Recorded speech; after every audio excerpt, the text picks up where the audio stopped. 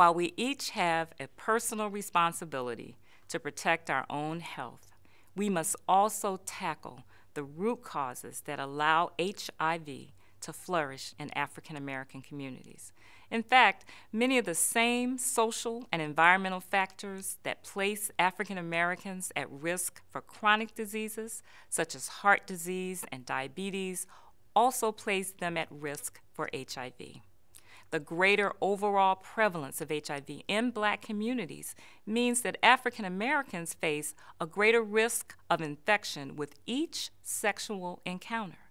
The socioeconomic issues associated with poverty, including limited access to high quality health care, housing, and HIV prevention education, directly and indirectly increase the risk for HIV infection and affect the health of people living with HIV infection.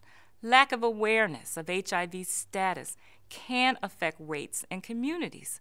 Transmission most often occurs from persons who are not aware of their status. Stigma, fear, discrimination, homophobia, and negative perceptions about HIV testing can also place African Americans at higher risk. We must stop the spread of HIV in the African American community.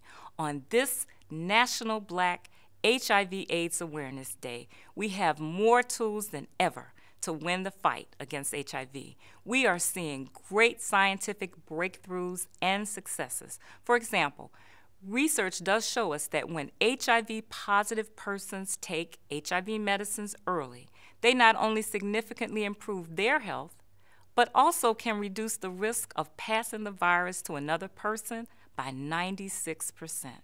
At CDC, fighting HIV among African Americans remains a top HIV prevention priority.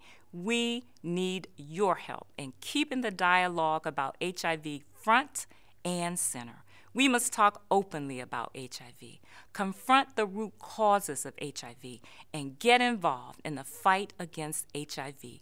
Everyone and every action